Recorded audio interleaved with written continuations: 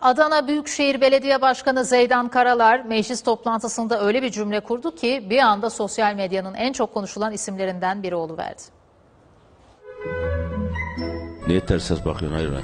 Bugün mübarek cuma öyle bakıyorum. Adana'da sıradan bir meclis toplantısıydı. Niye ters ses bakıyorsun hayır lan?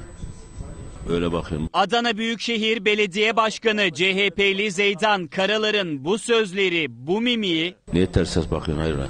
El hareketleri Niye ters ses bakıyorsun hayır lan? ve dudaklarından Adana şivesiyle dökülen bu sözleri Niye ters ses bakıyorsun hayır lan? bir anda sosyal medyanın gündemine oturdu. Bu Koca Akdeniz kim bu? Kadir Cengiz Aydar, bir gazetem bastı lan. Gözler bir anda Adana Meclis toplantısına çevrildi. Bilmiyorum anlamadım ki ya. Kimsenin para verdiği yok. Hep hep gider. Biraz da biraz da şu belediye başkanı rahatlatacak projeler getirin bize. Değil mi? Ben gülüyordum.